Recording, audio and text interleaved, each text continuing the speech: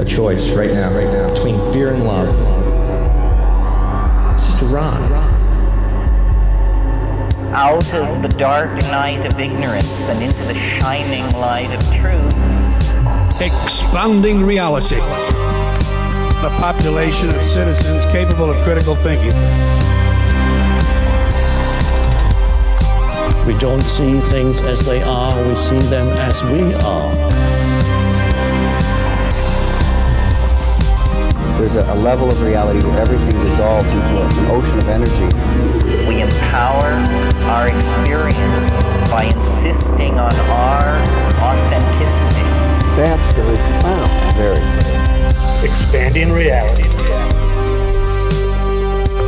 Tyler Hansen, welcome to the show here. You are the fittest flat earther, and I don't know if that's an accurate thing or a challenge, but either way, I love it. I love what you're doing. You have some fascinating videos. I found you on TikTok and Instagram, which will both be located down in the show description. You guys know how this works. Tyler, inviting you to the show here. Will you please tell our audience just a little bit more about you, man? Explain this fittest flat, earth, flat earther thing that you yeah, going on there.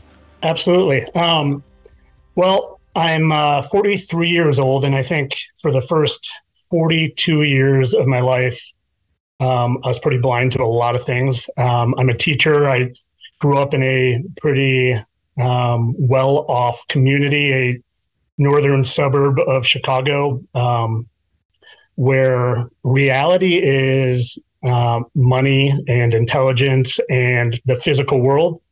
So even though I didn't, uh, you know, I I didn't partake in a lot of that. You know, I came from a, a single mother household and I wasn't I didn't have a car like every one of my other friends growing up and, and things like that. So, you know, I, I, I knew I lived in that type of atmosphere, but I never considered myself uh, you know, snooty or anything like that. I always had an open mind, always was a hard worker.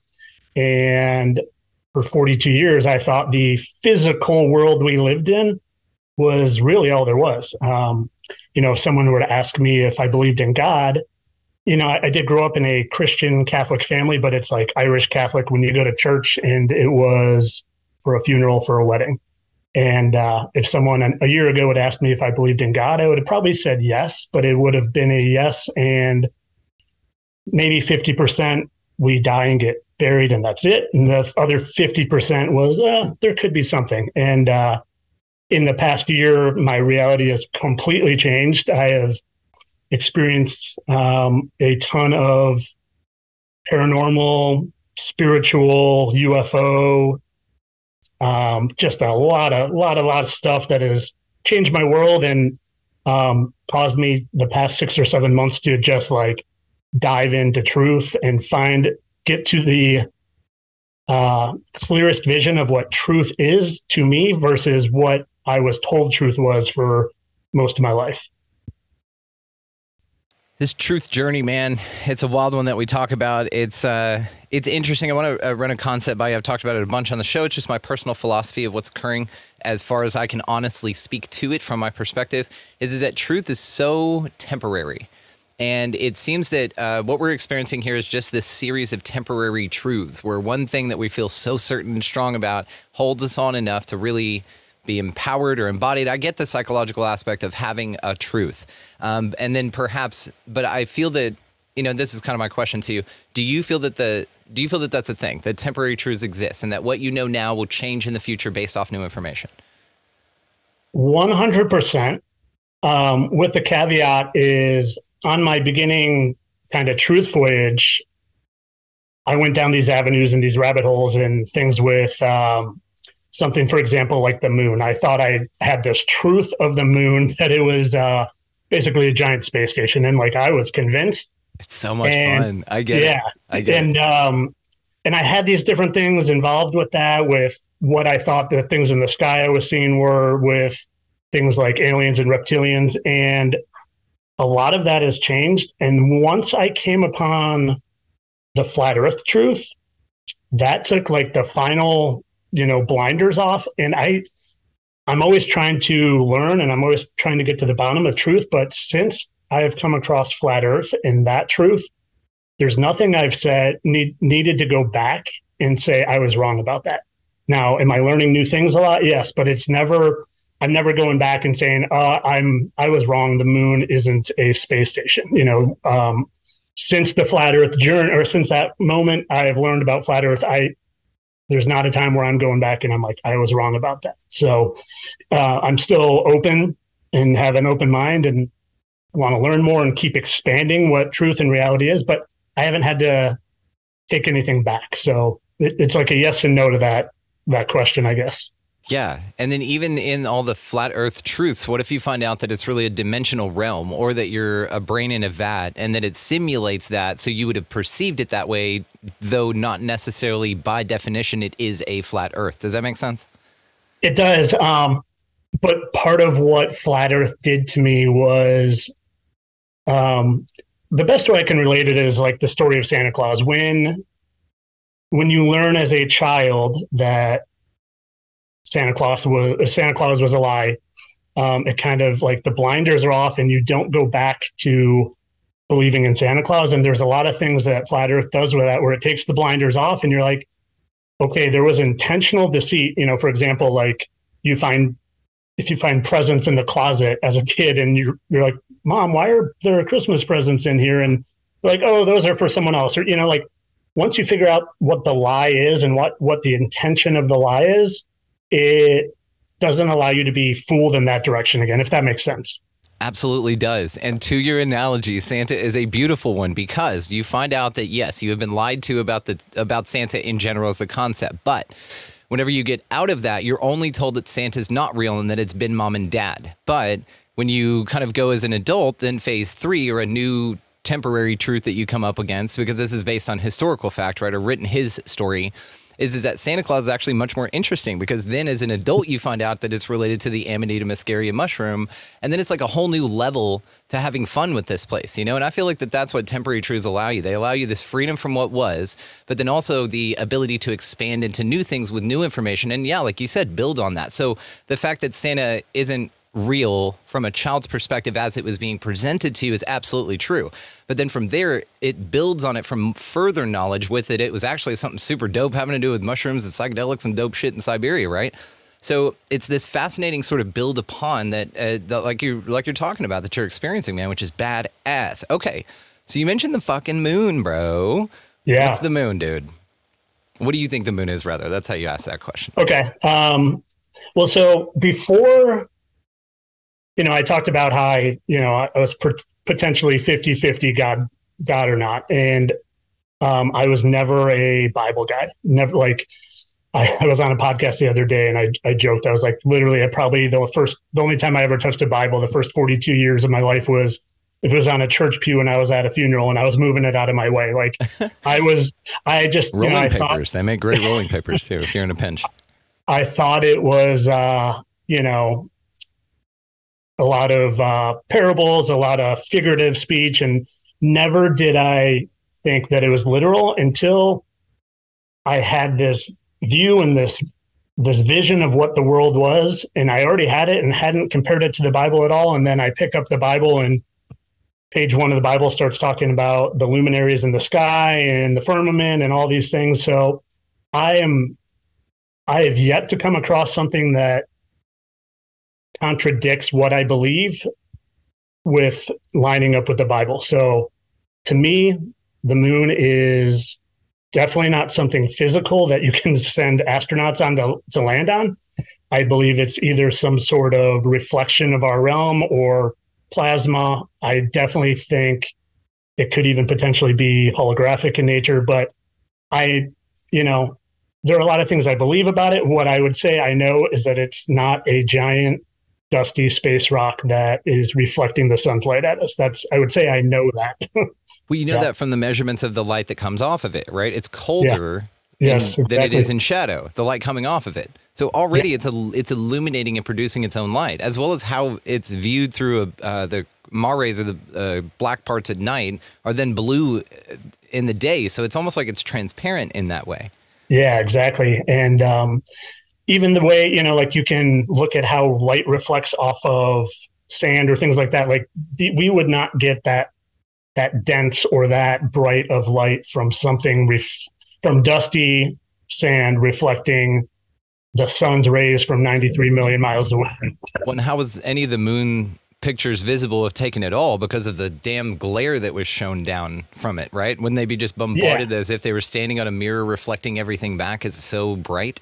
Yeah, exactly. The inverse, um, what is it? The law of missing it. The inverse law of light says there's something to it where, you know, depending on the distance you get, you know, the way we see the moon, if you were on it, you would literally be just blinded. There wouldn't be any chance to see. They'd have to send Stevie Wonder up there, you know, just to navigate the Yeah.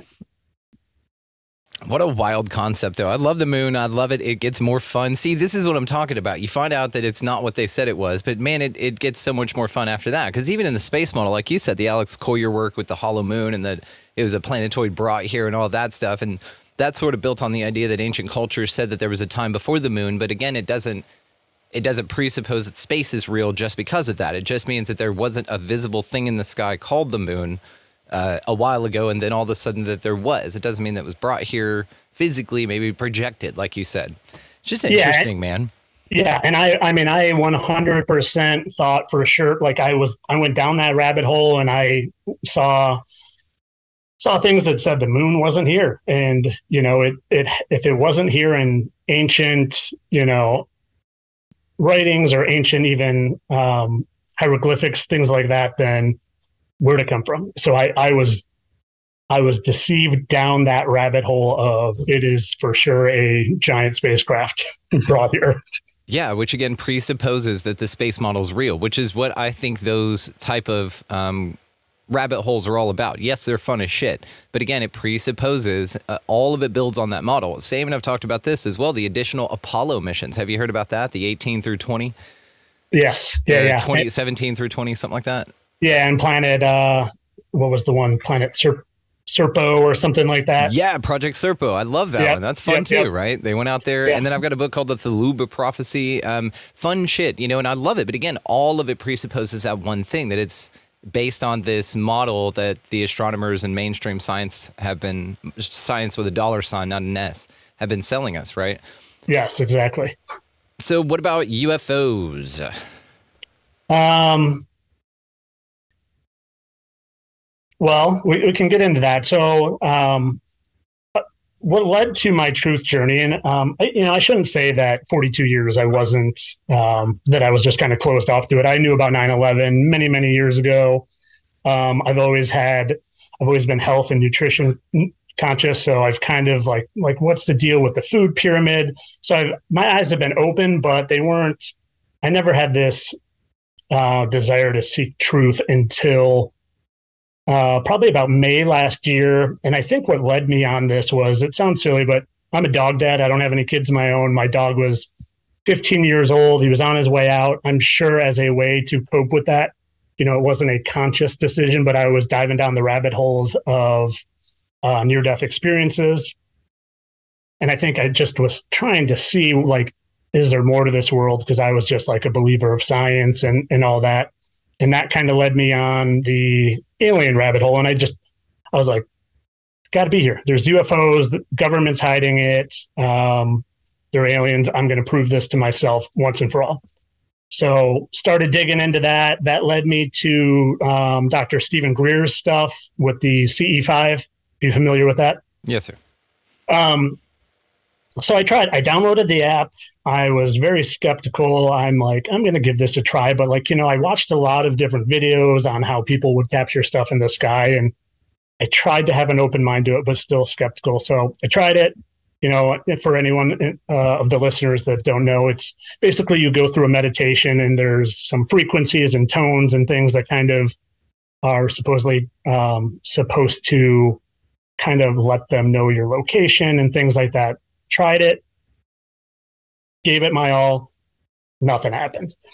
Um, probably within a couple weeks, I came in across another woman um, who was really big into the um, UFO and the Galactic Federation and astral travel, remote viewing, stuff like that. And and she gave something. It was a mantra that I don't even think I want to share it because I don't want people to go down and do it. But it was a mantra that would basically kind of clear your mind of this reptilian DNA that we supposedly have. So I had this mantra, I had the Steven Greer stuff, and I started just really believing that I could call things to me in the sky. And uh, lo and behold, I I literally started doing that. Um, first time was um, I was outdoors and just was like focused and speaking to the sky, show me something, and saying this mantra. And in the distance, this, you know, I'm looking at it and I can't tell what it is, and but it's coming right at me. It's not, and I'm like, that's not a helicopter. It's not a plane. It's not a bird. It's nothing I've seen. It's pulsing. I don't have my phone on me. It was I was actually at school when this happened. Um, I'm a teacher. I don't know if I even got into that, but I was out. Um, uh, I'm a PE teacher. was outside at school. Didn't have my phone on me, so trying to keep an eye on it. I'm like, I got to get this recorded, just because I'm like, people are going to just think I'm insane if I'm looking at this and have no proof.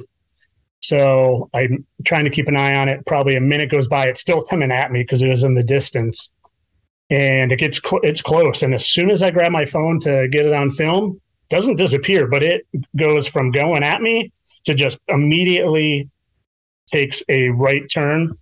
Um, I got it on film. It looks like a an orb of pulsing light. Um, and at the time, you know, I 100% thought it was ETs that, that I tell or that I communicated with them telepathically. And I was like, nobody's going to believe me, but I have stuff on film. So I was like, at least happy I had that. Um, two more times I did that and they came to me in orbs of light. They were um, pretty high in the sky, but they were literally circling me, orbs of light. And one came, one was much lower and almost looked like it was checking me out and zoomed by like maybe 20 feet above my head instead of the hundreds of feet these were above. And got that on film. And then uh, I did it a third time. And then the third one I didn't get on film, but then the fourth one, I did it. The last time I did it was around the time I had started started to. I was having some, you know, I was noticing there's more to this world than just the physical. I was starting to be open to the supernatural, to the spiritual world. Um, but like my family wasn't really believing things I was saying. I was starting to be open to God. So this last time I spoke directly to God and I was like, um, I was on a walk and I was on, it was a totally overcast day. I'm on this path by myself. And I closed my eyes and I'm walking and I said, God, please show me something that I can, one, know you're real, and two, like have evidence to show people that I'm not crazy. And I'm walking and my eyes are closed. And it, I kid you not, it's like, I mean, it was a Chicago, like, you know, April or May day, and it's so cloudy and dark and it with my eyes closed it seems like someone came and shined a flashlight like right in my eyes. And i opened my eyes and the only beam of light in the entire view of my vision you know like the entire peripheral is a cloud or a hole in the clouds opened up and it's shining directly at me. It almost looked like out of a movie where you see like a ufo beam light down on someone and they're getting beamed up.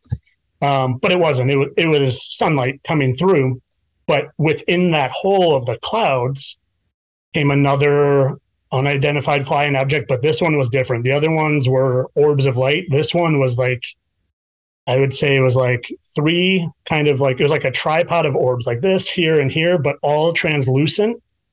And it was just like nothing I'd ever seen before. I pull out my phone as soon as I go to record that one, clouds close up and gone. So, um, at the time, I believed that all to be UFO ET in nature. And since then, I truly believe it is much more um, spiritual, either demonic, um, because I've had around that time, I started having some demonic attacks and sleep paralysis. So I think it's demonic or, you know, just spiritual. So maybe not the bad guys, but maybe some, some, uh, angelic type things as well. But I it, I no longer think it has anything to do with uh, extraterrestrials coming from other planets or galaxies. So I know that was a lot, and I will let you go at it. Any questions you might have?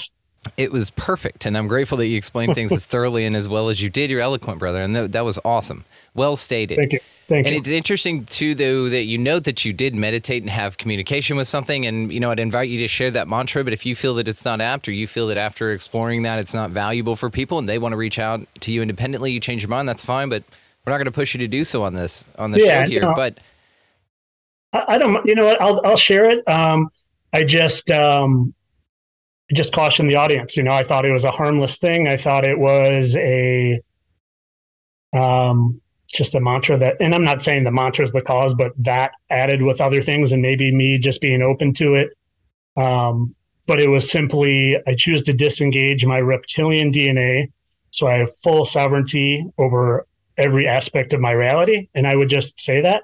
And I had other things happening around that time when I started to do that too, like um, clairvoyant things, like where I'd go to a casino and be like, 33 is going to hit on the roulette wheel, or tell a guy asked me next to me who, like what number to bet on, and I had 28 in my head all day from a vision I had, and then he won thousands of dollars. So some weird things were happening around the time I was using that, and but at the same time also the demonic attacks, which I do not wish on anyone. So um, just word of caution. That's all. Do you mind sharing those uh, now that you've given us the keys to unlock what you said you can experience with that? Let's hear the um, side effects. You know how in a uh, drug commercial, it's only aired in New Zealand and America, by the way. Did you know that? Illegal in What's all other countries. Drug commercials, pharmaceutical Oh. commercials advertised to the public. Illegal in every other country except uh, USA and New Zealand. I think that's, uh, I didn't know that. That's very similar to what I know or what I've heard about uh, using propaganda against your own country, too, that Sure. it is uh, legalized in the US. And I, I don't think a lot of other places. Yeah. Ed, Edward Bernays' nephew owns Netflix. Yeah, But exactly. To that point, what I'm saying is, is that uh, then now we can go uh, a little deeper with that. So let's hear the side effects of this event, please. List those off for us. Um, which event? Just the the sightings. the- so after you Okay. said that thing, the side effects from the fun part of like seeing it and going, oh, okay, that was interesting. Yeah, I got something on Yeah. camera. Okay, something's a little verified. And then you had some shit times out of it. You know what I mean? Like, Yeah, um, yeah, yeah. there was a potato chip that claimed to have anal leakage one time. So what is the anal leakage leakage equivalent to the take on that you did? Was that the uh, the Dorito ones when I they came out the with Wow the, chips. They came Oh, out. yeah. Uh, I want to With say the Olean or 2000. Olestra. Oh, Yeah, that, yeah. that was it. Yeah, Yeah, yeah. not around right. anymore. I don't think. They- No, no. Now you get your anal leakage from Chipotle. Please, sir. Um, all right. Well, so you know, I've had dreams my whole life. I've remembered dreams. I've had nightmares my whole life, and they were all I would wake up, and some felt real, some didn't. But like, there was never a there's never a time where I didn't wake up and say that was a dream. And um, around the time I was waking up to just the true nature of this place, or the truer nature of this place than what I used to think. You know, I used to think just physical place. We came from uh, monkeys, evolved from billions of years ago, and uh, when I was waking up to flat Earth and just spirituality, um, I I knew that there was something else here. Um, you know, at the time, I thought it was, you know, reptilian beings, or but like I knew there was something else here. And in this dream experience, I was, and I should say this too, is I I've come across some pretty strong evidence to me that there is, you know, people talk about shapeshifters and things like that, and I I've come across some pretty strong evidence that I do think that exists, whether it's technology driven, well, they whether they have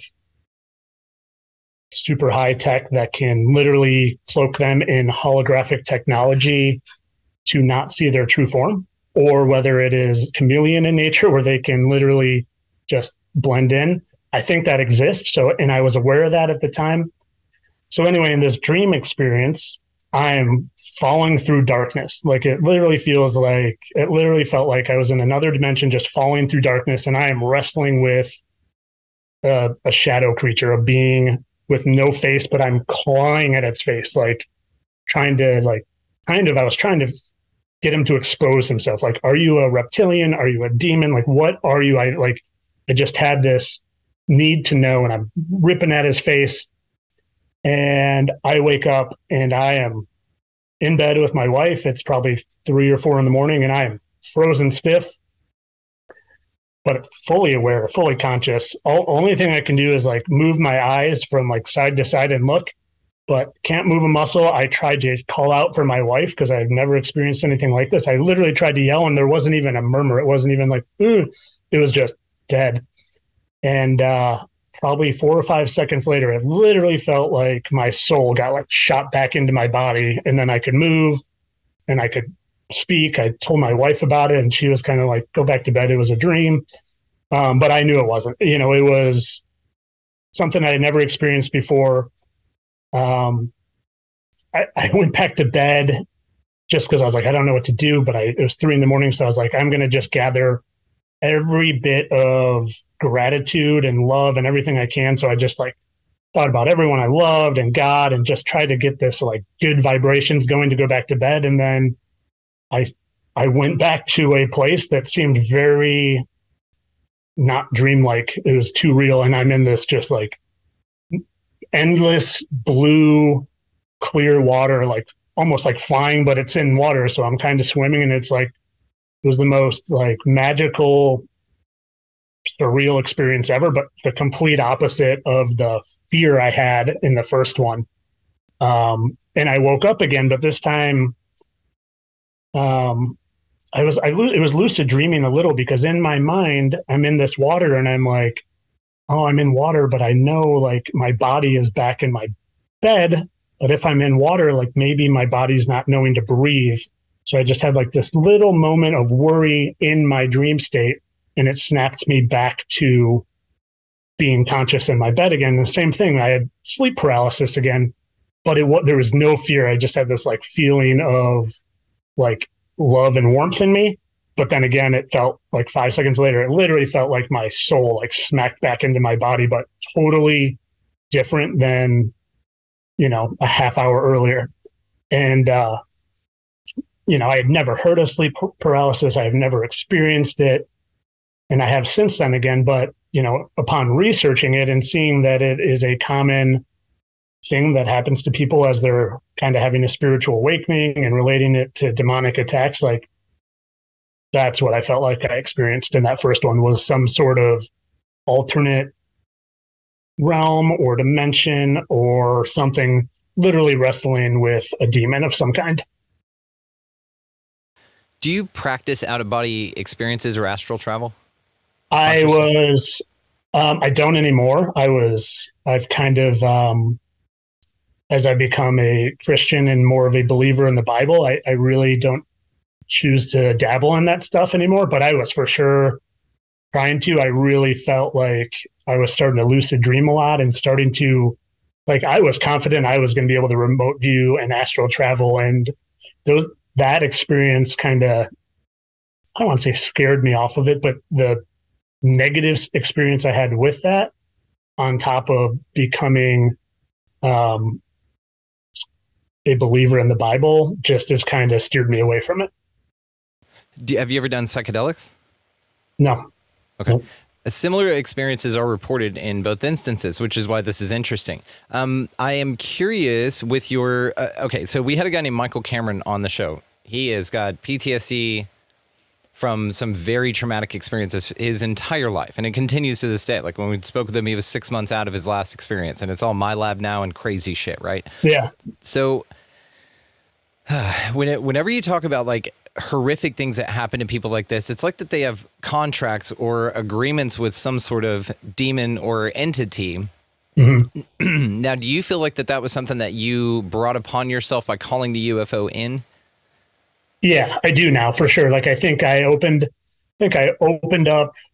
Basically, I think I put a target on my back. You know, like I think I communicated with some demonic forces in nature, and I think, you know, I, I part of me really thinks they leave people alone that don't have a concept that we're living in a spiritual world. And uh, you know, I think because if you were to you know if there's a demonic attack of someone who isn't in the knowledge it kind of lets them know like hey there's more to this world and you know i, I don't think I think a lot of the deception in the world, um, even going down to like living on a globe, I think has to do with hiding the true nature of living in God's creation and living in a spiritual realm. Um, so yeah, I, I think I for sure invited it in unintentionally. And it's interesting that you say whenever you got after your uh, dream and those events are yes juxtaposed. You have one that's horrific and, and awful and then that can be interpreted like you were just wrestling yourself right through to some people. Uh, yeah. maybe an archon that's running this whole damn thing. Who knows? But then the other one nice you know so it received energy from you in two different ways right? This whatever it was if if an energy component is what's going on here. It received it in a shit horrible way, but that falling wrestling dream, and then it gave you a little something like a little, hey, thanks, here's a towel, wipe up, kind of a thing afterwards, right? Yeah. And it's yeah. interesting too. Whenever uh, you talked about sleep sleep paralysis, because what Michael was talking about on this. How he explained it uh, made a lot of sense because of his astral travel. Is his perspective. Because of his astral travel work, he talked about that sometimes there's a delay and not only getting out of your body but back into your body. And that's what true sleep paralysis is that it can yeah. be brought upon by some entities or something like that. But essentially it's those that practice out of body experiences pretty much regularly or astral travel. They sort of experience this more sleep paralysis than other folk like like me or something right? Because i don't do either. So it's that momentary like oh shit i can't move but your soul's just like I don't know, give him one more kiss goodbye, right? And then it'll be yeah. here in just a second. And then you're able to animate. So, but it was interesting that you had two different experiences at it. One, you had the confidence that your body would return to function because you'd already gone through it. Um, kind of like having a bad trip and then taking it again just to have a good trip. But then also you had the um, nicer experience, which then brought you into more confidence with it that it wasn't that bad of a thing. So, yeah, right.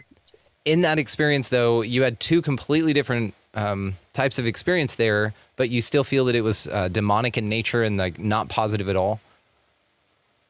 Um, I think we probably have a little bit of ability to control it, and I just don't know if I'm, um, you know, I'm just me. I think uh, we all have some pretty extraordinary powers that we're not told about, and that you know I think some of us can dive into more than others, and I I think I've tapped into that a little the past year but um, I don't know. I I'm so curious to try more because I really think I have an ability to do it, but I just um, you know, JC says not to dabble in that stuff, so I I'm uh, surprised. If I heard myself saying that a year ago, I would have probably laughed myself off. But um, oh no, I just really try to follow follow a lot of what the Bible says. If you know, if not all. Well, listen to you, homeboy, man. I like your uh, yeah. conviction. I yeah, tell you what, exactly. I am uber curious about dogs and mainstreams and dogs in the star. So I'm dog parent as well. We have a new rescue, Yokai. Uh, she's amazing, a little heeler Australian Kelpie mix. Oh, cool. Uh, we have a huge, uh, like 12 year old Husky mix running around here. Somewhere we are also uh, animal folks. So please awesome. tell. I, I, have to uh, hear about this about the dogs. Yeah, um, man. There's um, I can get into it pretty deep. Um, but I, I guess let me give the short of it first, and then we can dive in however much you want. But basically, what I have found, and I, I truly think that I've never heard anyone else talk about this, and I'm not saying I'm special or anything. I think there was some divine intervention of me figuring this out. Um, I think that the controllers of the world, I believe them to be, you know, Luciferian, satanic, bad people that lie to us about everything and lie to us on the news. I think they intentionally hide images of dogs in all their lives. So, an example would be the uh, submarine that imploded going down to look at the Titanic. I found literally it's like an underlay. So, if like you're watching a news clip on it, there will be hidden dog faces like in the submarine walls. Um, I found it um, in the Apollo 11 mission. They literally show the Earth from the Apollo, and there's there's like just a big old dog face there. So part of me thinks it's a way to it's kind of like the revelation of the method. They're showing us, they're mocking us, but in but why I think it's dogs is um because I think the Luciferians of the world like to mock God every chance they get. And how do you mock God? You take his name, and I know it's just the English version, but you take God and you flip it backwards and it's dog and you're mocking, you know, God's gift to humanity. You're mocking God all in the same way. And it's, hey, we're going to lie to your face. and put this dog image right here, and you're too blind to see it, but you're still going to believe this lie. So I believe that. And this is the this is the crazy part. I think people can wrap their heads around that, but um, you know, I mentioned the moon being potentially holographic in nature. I think all the stars are holographic in nature, and and I don't, and I, it's not just a crazy thought. I feel like it's been proven to me through looking at the stars through telescopes, through Nikon cameras, and um, their dogs, their dog images in stars in every single star I've ever looked at. And what I used to think that meant potentially was that stars were angels with our dog souls in them. And Adorable. I like that one. I do, you know, and I. Fuck, that's a children's book, man. all dogs go to heaven. Yeah. And, uh, but I don't think that's anymore. I, there's just too much coincidence with them using dogs in their mockery on the news. There's, I've found them too much, and it's I've got like we can I've got uh, I can share a screen with you and show you some yes some, some, some cool stuff. Check out the video in the show description down there. Also, all this is played over there on Patreon for free. So if you guys want to go sign up, transcripts actually also are going on over there as well. So if you want to like read what we did here, um, you can check that out or follow along, whatever. Go check the uh, link in the show description to check out all of this dope ass shit he's about to show us right now.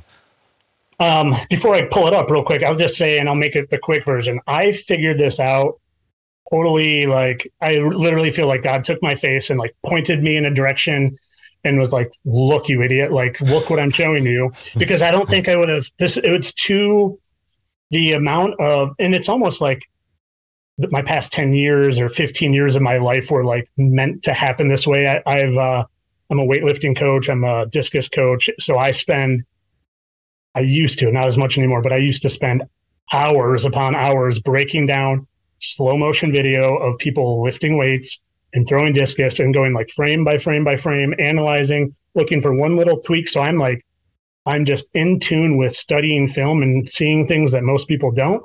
So I think that upon literally being, I had just a weird star experience that made me explore a star just like up close because it was around the time I was figuring out flat Earth and figuring out that stars aren't what we're told they are. They're not, you know, balls of gas millions of light years away. Um, so I I, re- I can't take credit for it. I really think I was divinely inspired to figure this out, and it sounds insane, but there are dogs and stars, and I'm going to show you some evidence if you want.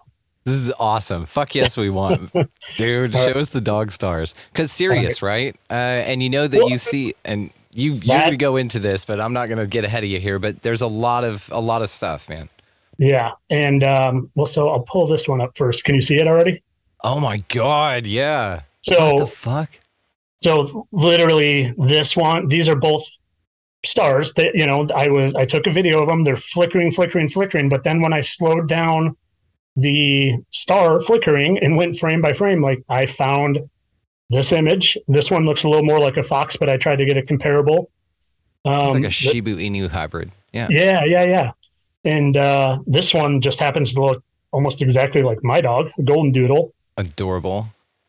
So, but it's funny you said that. So this is kind of what led me is I had something. It sounds stupid, but I had something on a star finding app happen to me where the, the star was just finding me and not the actual star. So not in the sky, but on the app. I had used this app a hundred times and the star kept following wherever the cursor went. Like the star was following me on the app and I never had that happen. I was like, what is going on here? So I screen record it, go back to it a couple days later and I'm like, what? And it was like pulsing a little. So I zoom in and it looked like dogs were in this screen. Okay. So I'm still talking about the app, the star in the app, not the actual stars.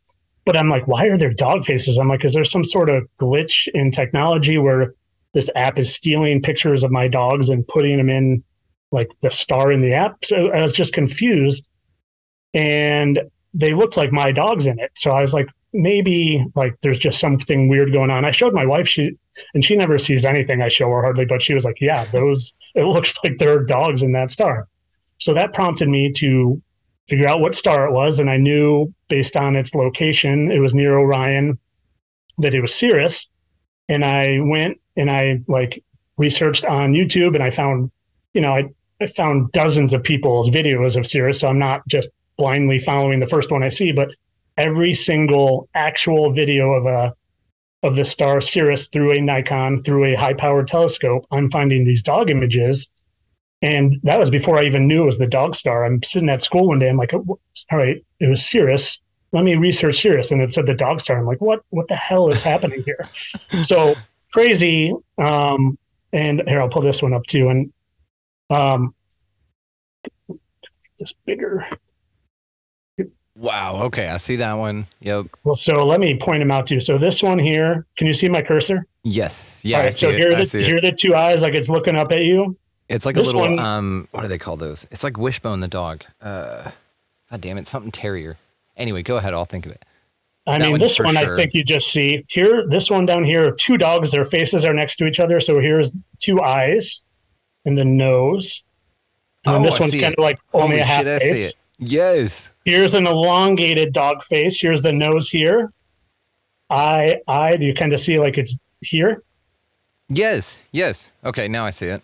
Another double dog face. So two eyes here in the nose. It's mhm. literally two dogs smushed against each other. Yeah.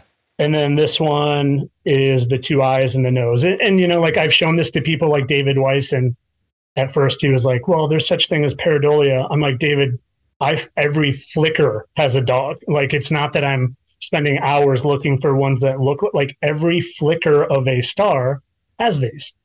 And uh, he was, I actually talked to him on a live call-in show of another podcast, and you know, he kind of he didn't he definitely didn't shrug me off, but he's like, I don't discount anything now because I discounted flat Earth, and now like I'll look at anything, and I hang up on the, and then like 20 minutes later, he's like, you know, he's like, huh, dog. He's like, I can't get over that. He's like, what do dogs give us? And the host is like, unconditional love. Yeah. And yeah, he's like, yeah. And he's like, what does God give us? And he's like, unconditional love. And he's like, dog is God spelled backwards. He's like, there's something to this here. And, and that was still when I was of the belief potentially they were angels in the stars, but I don't think that anymore. But man, there Well, are they're dogs, in dogs. stars. There That's are dogs in the stars. man. Yeah, true. What a nice, you know, I got to be honest, Tyler. This is such a nice twist. You know, what a fun twist to have dogs in the stars. Like it's it's nice, dude. We've been talking about archons and soul traps, prison fucking planet, man, and you're talking about that all the stars are dogs, and they're adorable, by the way. I see what you're talking about. It, We share the pareidolia, um, and I don't often share what other folks point out in clouds to me. You know what I mean? I'll be like, no, it looks like this to me, and then that that I can't unsee that, you know, or morph my perception to see the little bunny before it changes, you know, that they saw. Right, right. So, but it's interesting with yours. I'm like, yeah, I, I see what you're talking about. I'm smelling what you're stepping in. Yeah. Interesting. Um, let me real really quick. I don't know if I had it pulled up, but I want to just pull up one of the stars that. Oh, maybe. I Do you have one frame by frame where you see it turning into different dogs? Yeah, that's what I was trying to look for. Oh, okay. Um, Well, there you go. This is awesome, though, dude. It- what a it wouldn't cool. send. Um, what if we go to? What about the idea that God or the rea- this realm is ran by a balanced force of God, meaning that God is both Satan and God, the altruistic, the demons and the angels, it's all God, right? Nothing separate from the totality of that which is God. So do you think that maybe even putting that in shows that it's the inversion of God, right? Because what Yeah, we're right. shown what we're shown is that God, like the God in the Bible, some people have said, and I, I want to have it, that conversation with you. I'd, I'd be honored to actually. That if you actually go through the Bible, the God in the Bible is actually the devil and it's Satan, and there's scripture that will prove it throughout. Meaning that everything here is an inversion, even the Holy Scriptures and everything. And you can also see this sort of Hegelian dialect through the Bible, meaning that the Old Testament God seems very different and has changed his attitude quite a bit uh, to the New Testament God, but there's an in between called Jesus that God supplies. So it's problem, reaction, solution.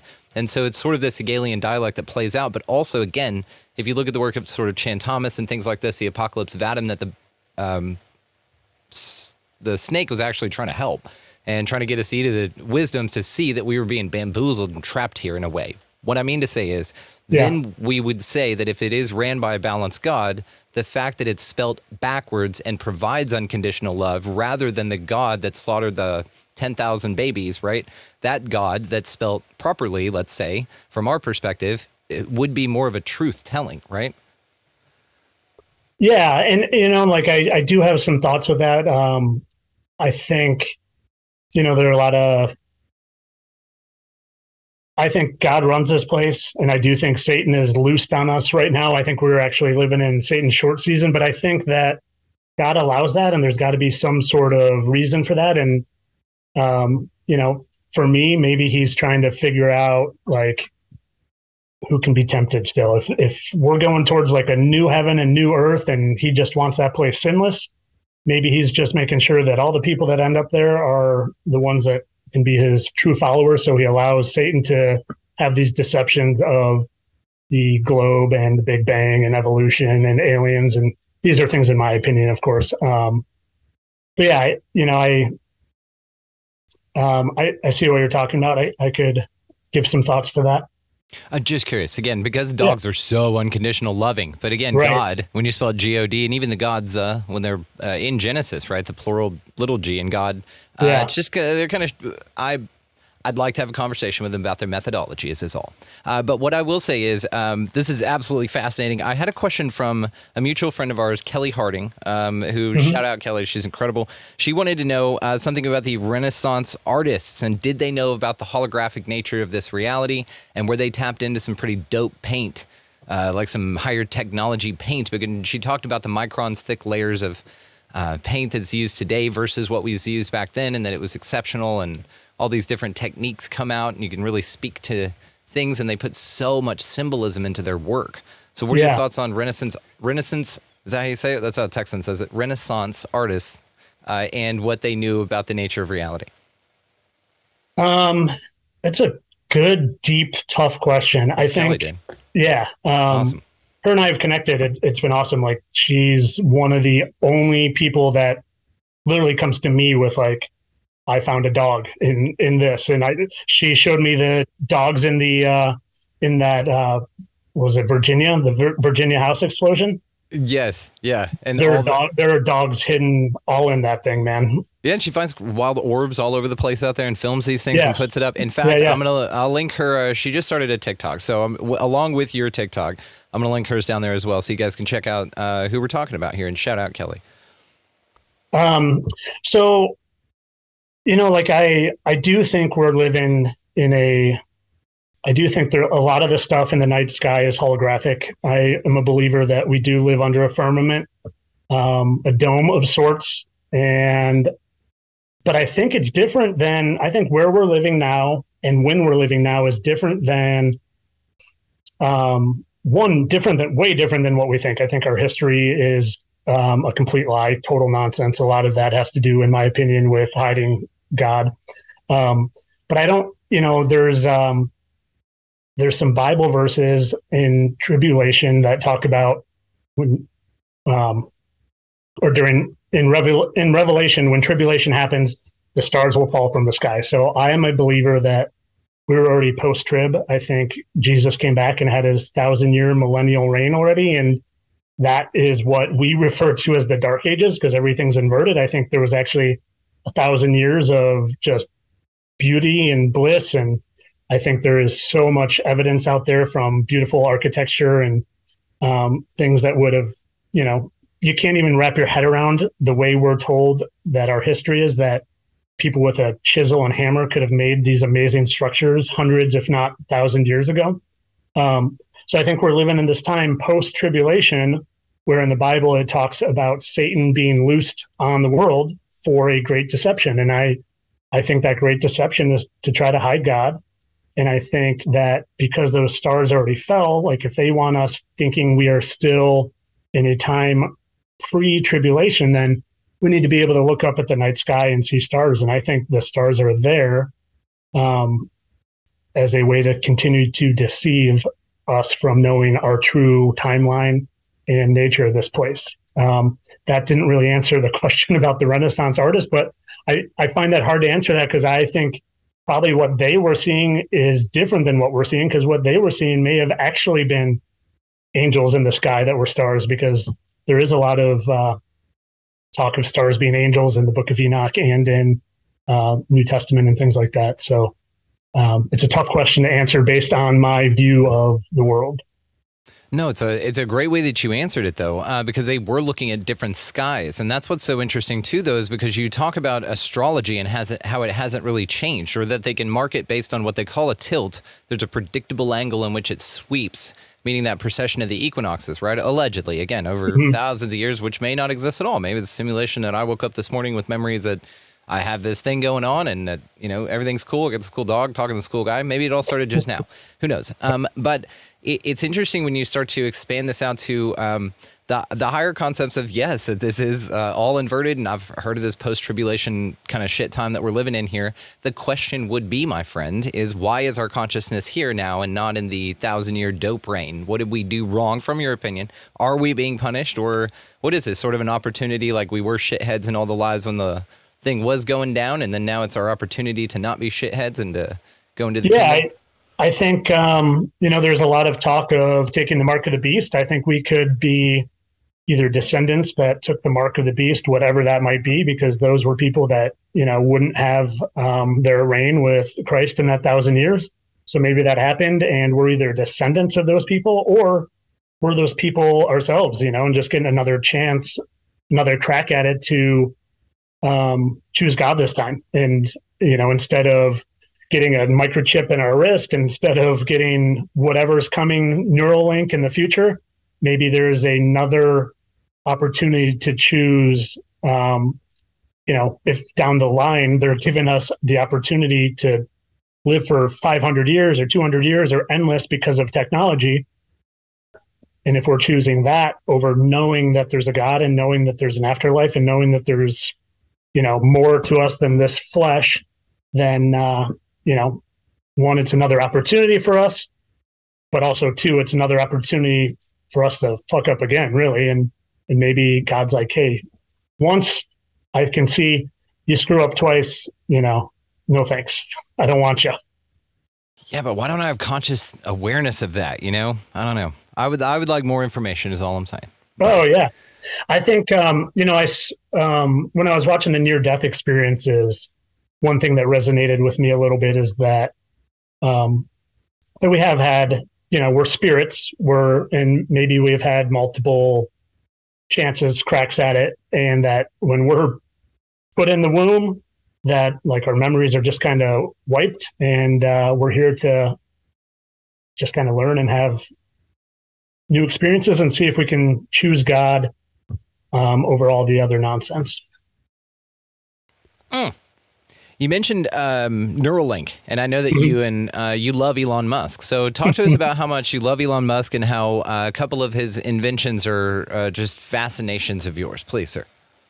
Yeah, I think um, I really got into doing some rocket videos. There's um, the first one, you know, like as a person who, and I, I don't say this arrogantly, but I just, it's, to me there's a belief or the difference between belief and knowledge. And you know i believe that the moon is holographic in nature. I don't know but i know we live on a level surface and not a spinning water ball. So i don't mean to sound arrogantly but when i say i know um, that's just how i feel so um, I must point out the confidence that comes with flat earthers. I just love it. All right, and I don't. Yeah, I don't consider myself in any camp because I don't know what the fuck's going on here. But yeah. I love the comp. That's sort of like fucking. What do y'all call them? globe tards? I, I, I just I, I find the humor and the um, certainty uh, incredibly cool. That's all.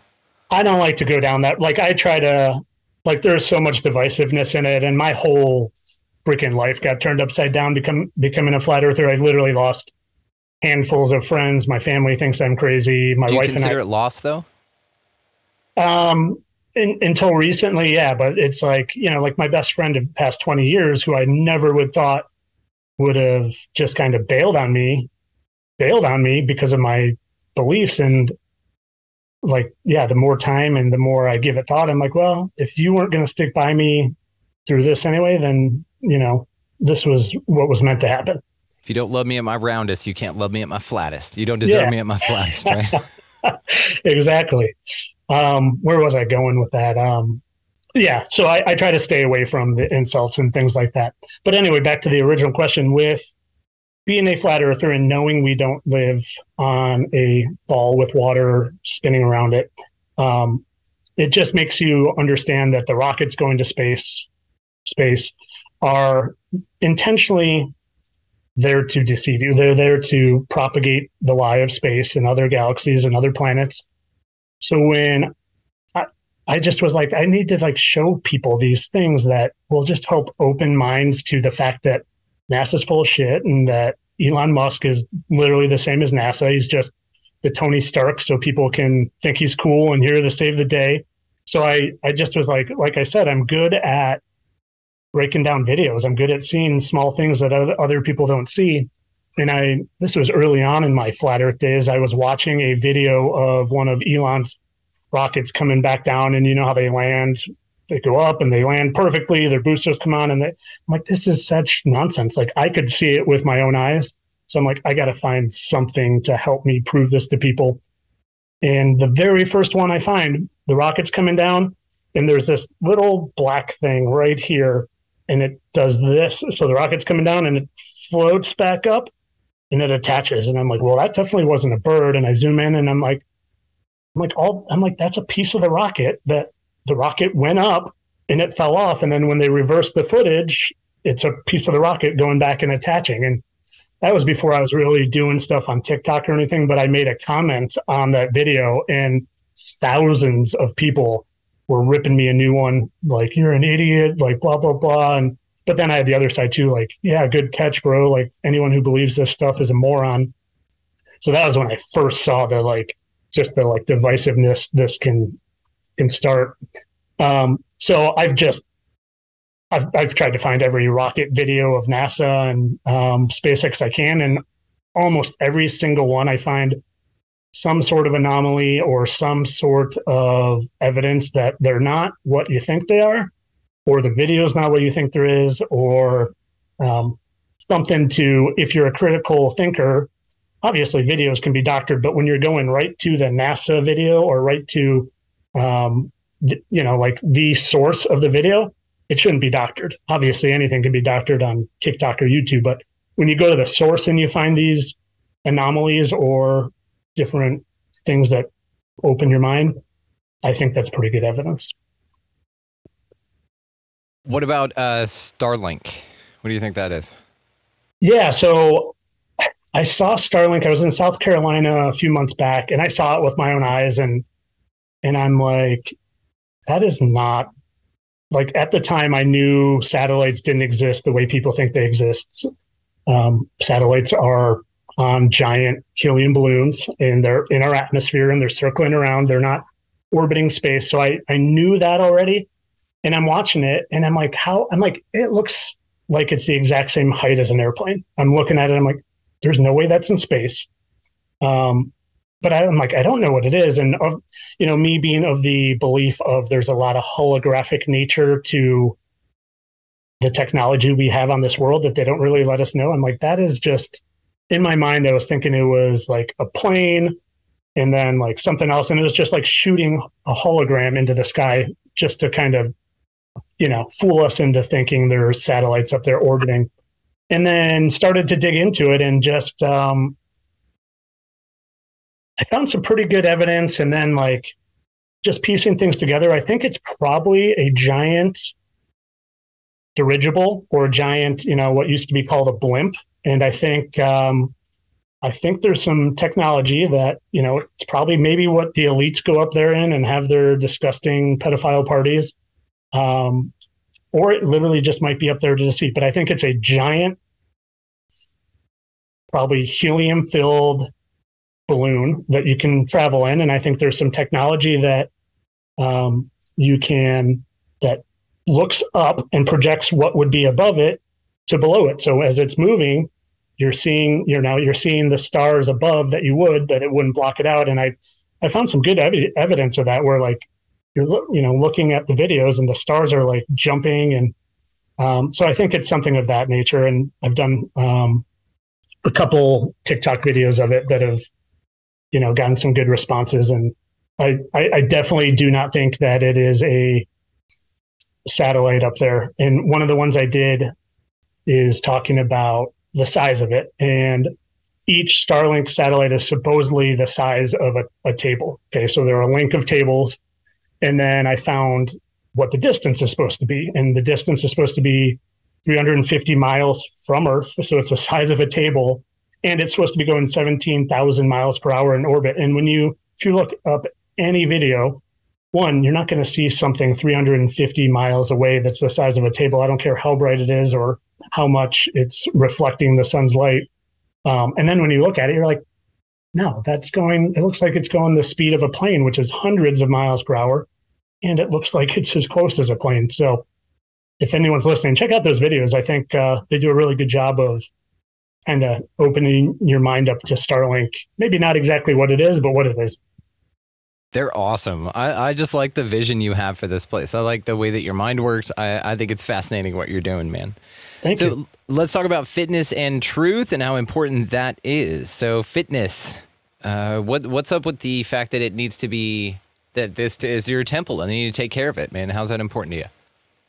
Yeah, I, I, you know, like I wasn't awake to things for 42 years, except on the level of, and we were told a whole lot of things that aren't true about nutrition and about sleep and about things like sun gazing and fasting. And I think, um, you know, that's intentional to keep us sick, to keep us needing them, to need, you know, to need to rely on others to give us medicine that's probably not making us better, but just amplifying things. And I think, um, you know, like for me, for many, many, many years, I was always a strong body and strong mind, but I didn't do a lot of soul work. And I feel like I've tapped into getting a strong soul.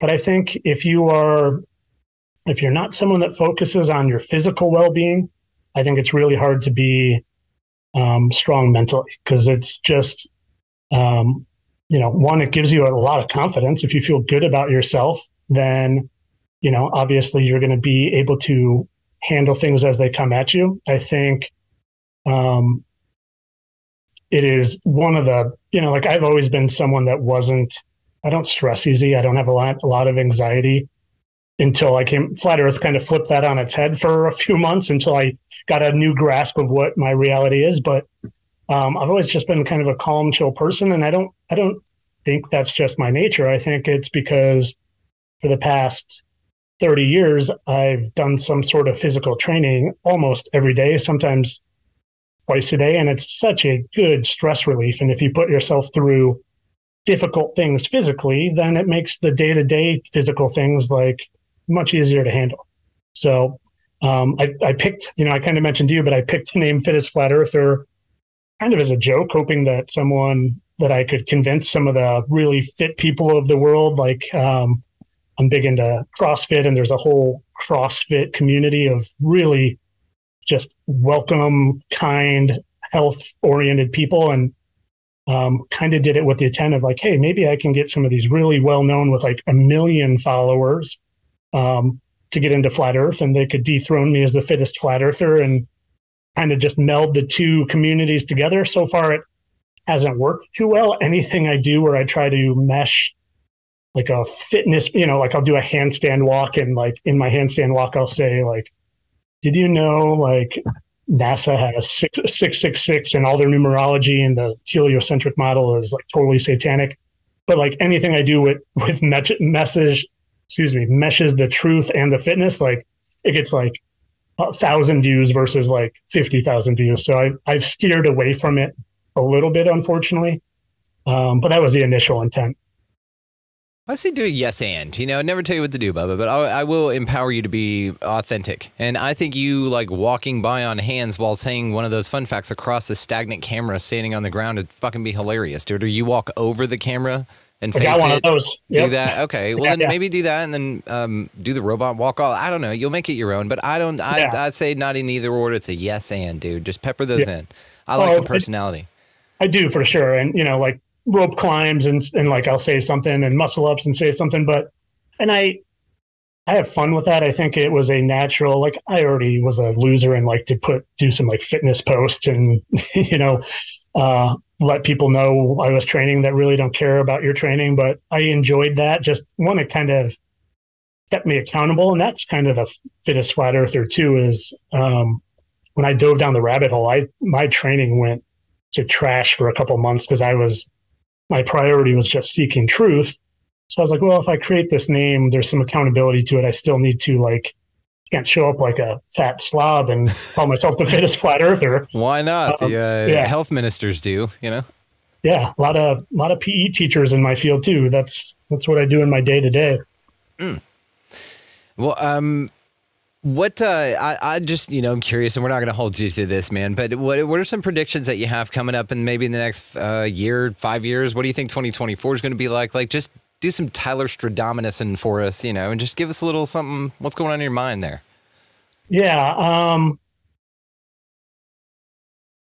you know, I don't I don't like to fearmonger. I don't like I've I've come on a few times like there was um God, what date what date was it? Was it uh it was maybe 10 maybe it was 10 23 maybe because it was there or I can't remember. There was some date that just had a lot of uh numerology with it and I kind of did a post like, hey, not trying to fearmonger, just kind of like keep your head on a swivel. But man, there is a lot of um a lot of thought, a lot of talk out there of some sort of either internet blackout or even a, um, you know, full electric blackout. So I, you know, I don't, I think I'm not a fear person, but I think it never hurts to be prepared.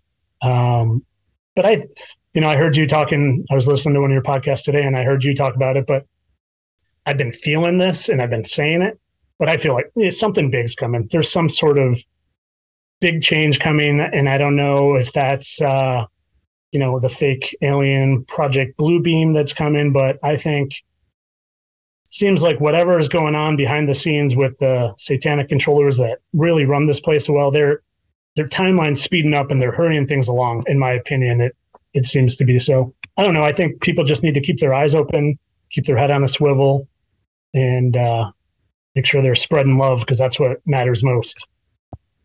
Is there going to be some sort of second second coming, like uh, third coming rather, or you think this will all end at some point, or do you think it's really all up to us in this lifetime to get it right for us individually, and then decide where we go?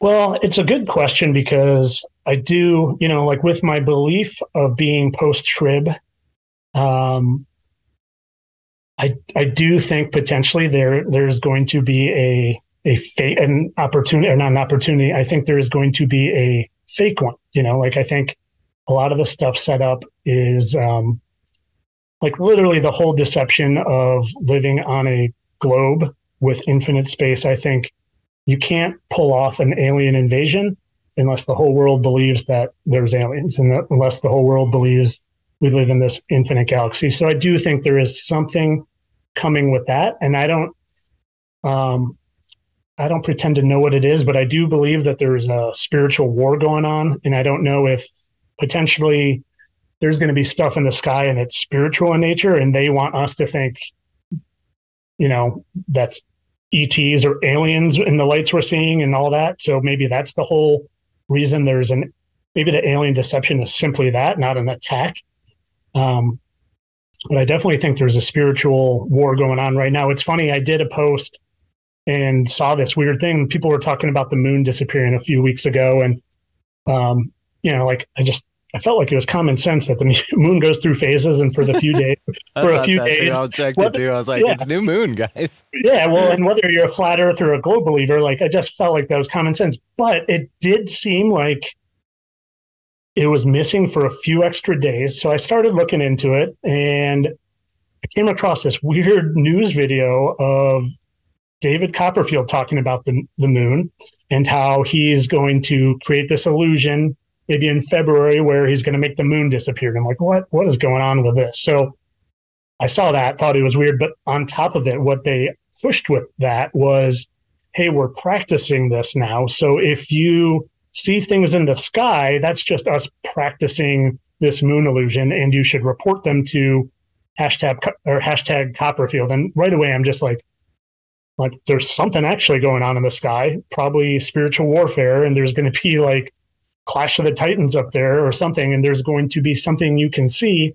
But they want the, they're using the mainstream and David Copperfield to make the normies of the world just be like, oh yeah, I heard about this. David Copperfield's practicing uh, moon illusion. That's all it is.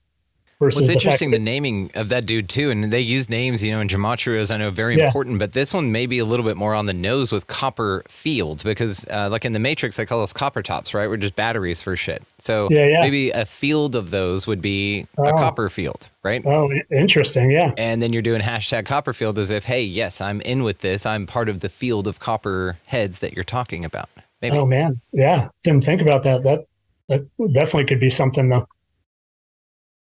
So I don't know, like something's big coming in my opinion, but you know, could I put my finger on what it is? I don't know. Is there going to be, um, you know, an antichrist? Um, potentially, I, I think I sent it to you that there, uh, this Taylor Swift, Travis Kelce thing is just like so inorganic to me. It's unbelievable, and I think that um, when you look past what's presented to you with Taylor Swift, like I've seen her doing like this stuff a lot and the, you know, as above, so below, like she is controlled by the controllers to the nth degree. And they're painting her to be this just wonderful human. And I could very easily see her having some serious sway in a really negative direction. And I really think they just, you know, the whole Travis Kelce thing is to get people that don't know who Taylor Swift is and vice versa to just all be aware. And then Travis Kelce's pushing the the the jab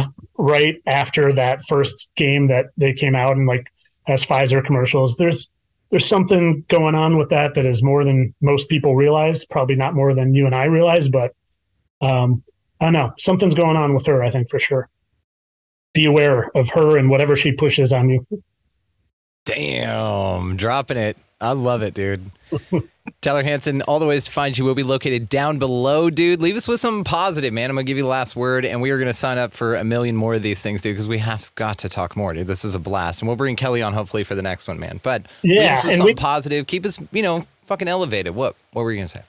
No, I was going to say we hardly even got into the flat Earth stuff. I would love to, um, but we can do it next time. Maybe Yeah, yeah. Um, get into some flat Earth proofs and like everybody. I thought it was the stupidest thing ever. I watched the movie Behind the Curve, and it for a year it made me think flat Earthers were morons.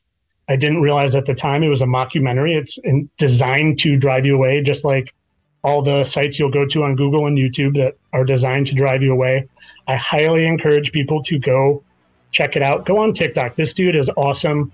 He looks like a goofy looking blonde young kid, but he's just like spills truth and it gives you things you can check out yourself.